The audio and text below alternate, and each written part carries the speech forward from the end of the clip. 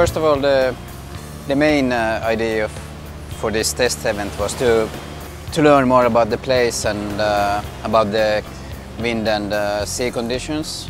So that was the main goal and it wasn't so important to like finish high up, but of course that's fun as also.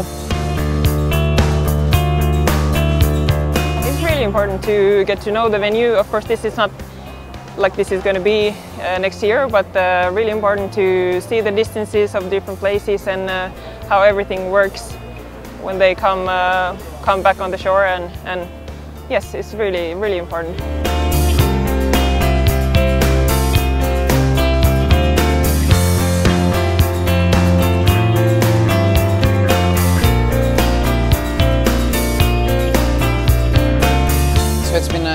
Week with uh, different kind of conditions and a lot of uh, current as well. And uh, a few of the sailors have been doing quite well, like Tuula.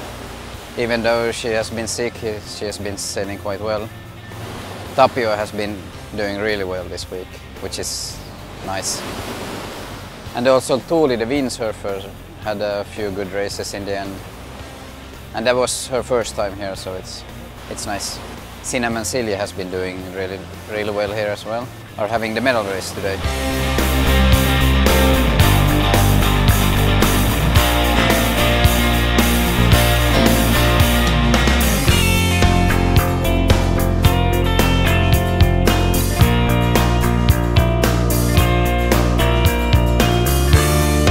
Me and my brother, we came to Rio to experience the pre-Olympics, to see a little bit how we are going against the other teams and experience the special conditions here in, inside the Guanabara Bay and outside, outside Rio.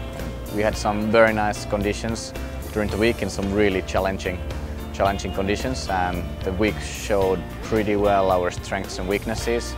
So we know quite well now where we're going and what we need to do for during the winter training in order to succeed here in Rio. So it was very challenging and the end result might not have been exactly what we hoped for, but it was, uh, it was a very good test at least.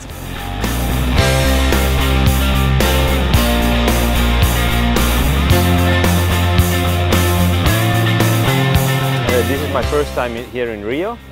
Kaarle have been here uh, once again. And I think it's, um, it was a really good learning trip to both of us to know the local conditions, currents, winds, stuff like that. I think the regatta was a little bit disappointment for me. I had some good races, but mostly not so good races. But at least I learned a lot here. This was test event. We have one year still to practice the things, what we noticed, what didn't went so good. So I think we have uh, enough time to improve uh, his setting.